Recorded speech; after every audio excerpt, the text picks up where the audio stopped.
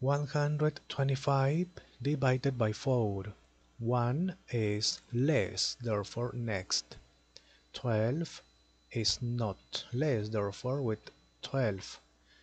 Okay, 4 multiply by which number is nearest to 12 but not greater 4 multiplied by 4 is 16 16 is greater 4 multiplied by 3 is 12 is not greater okay. Subtract next. Eliminate 0 on this side. 5 4 multiplied by 2 is 8 8 is greater.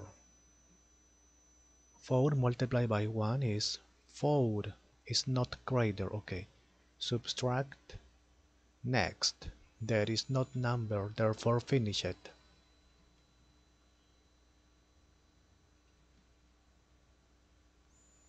okay